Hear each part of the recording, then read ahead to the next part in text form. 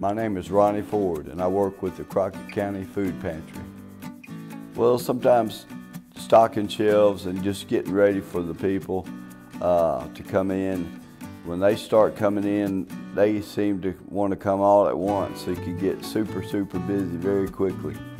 Uh, and there's a lot of straightening up and just keeping the, the shelf stocked and the food going.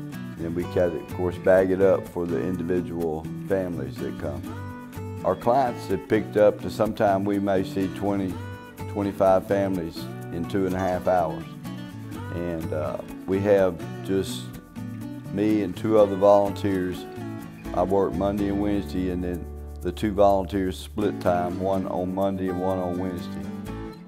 Some of the folks are so appreciative and you see that the need is real. It, it really touches you. They're so appreciative when they say thank you, you know that they mean it. You know what they're receiving is needed and it's, it's important work. I'd say our biggest need is donations. If anyone wants to spend some time down there, you know, we'd be glad to have you.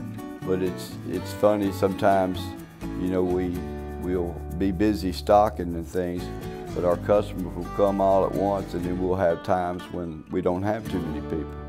So uh, I think our greatest need at this time is just for food and cash donations. Donations from the public, food drives that are primarily from the schools uh, really give us a lot of food. Uh, we've got Thanksgiving coming up and I know that the city school has always done a real big food drive.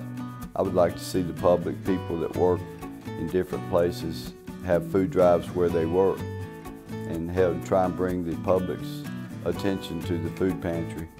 The neat thing about it is all the food is only for residents of the county. It doesn't go anywhere, it stays right here. I'd, I'd like to thank the church and everyone that donates. Uh, like I say, I see the need and I've seen a box of cereal go to a family and they say, oh neat, that's my favorite brand, that's my favorite kind. And uh, you know that just a box of cereal is a bigger deal to them than we can even imagine, I think.